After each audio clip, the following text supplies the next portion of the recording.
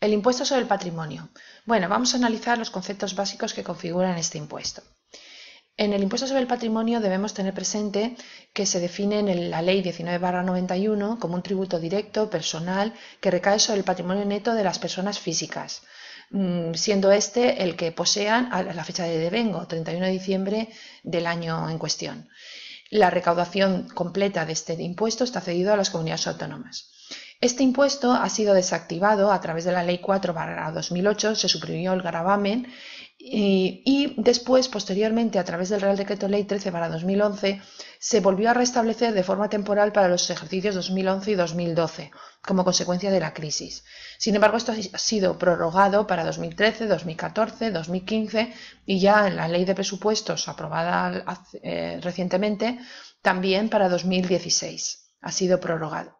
El hecho imponible, por lo tanto, es la titularidad jurídica por el sujeto pasivo de bienes y derechos en todo el mundo y se va a grabar el patrimonio neto, es decir, la valoración que hagamos de ese patrimonio disminuido en las cargas y gravámenes y en las deudas y obligaciones. Están exentos los bienes y derechos necesarios para el desarrollo de la actividad empresarial, la vivienda habitual hasta 300.000 euros y las participaciones en otras entidades. Asimismo, el Real Decreto 1558-2012 establece la obligación de informar sobre aquellos bienes que estén situados en el extranjero, pero siempre y cuando su valor sea superior a 50.000 euros, en lo que se refiere a cuentas en el extranjero, valores, bienes inmuebles, derechos, seguros, etc. Bien, ¿por qué es tan importante el impuesto sobre el patrimonio? Pues desde el punto de vista de la gestión realmente tiene mucha importancia porque establece un control, un control sobre eh, el patrimonio neto existente en un momento dado en España y también nos da las herramientas necesarias para realizar la valoración de este patrimonio.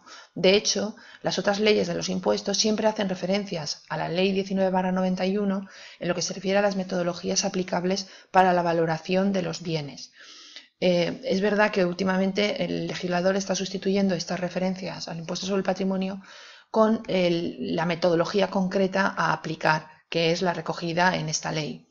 Bien, entonces vamos a revisar brevemente algunas eh, normas de valoración de bienes y derechos que están recogidas en el impuesto sobre el patrimonio. Por ejemplo, en lo que se refiere a los bienes inmuebles, se va a valorar por el mayor entre el valor catastral, el valor comprobado a efectos de otros impuestos o el valor de adquisición.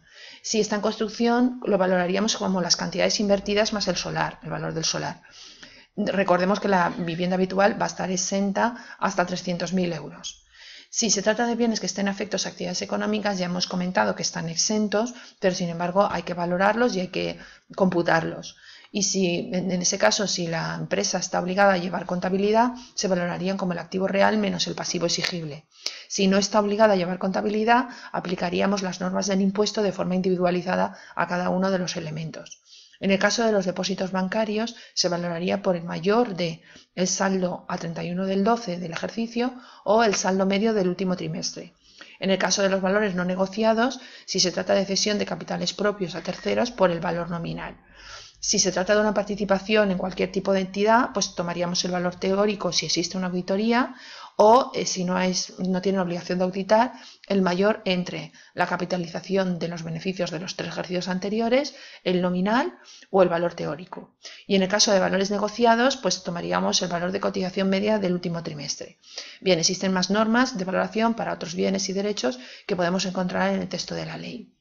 Asimismo, vamos a poder deducirnos las cargas y gravámenes en el caso de elementos patrimoniales sujetos y que tengan naturaleza real y también eh, serán deducibles del elemento hasta hacerlo cero, pero nunca negativo.